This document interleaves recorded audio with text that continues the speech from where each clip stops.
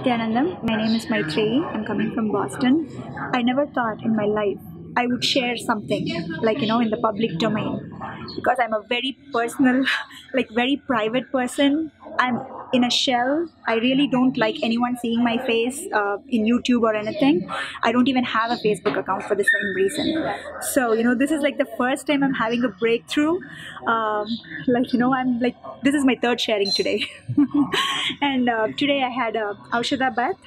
So normally I don't feel uh, the water is cold, but today, like you know, it was not cold. It was warm. It was like you know, like uh, they gave me two choices: applying bhasma or turmeric.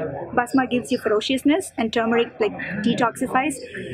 I somehow wanted to be ferocious, like want to like really like experience much more, and you know, be ferocious about it. So I chose bhasma, and uh, you know, like even applying all over and you know like it, it just feels it, it just heals you completely.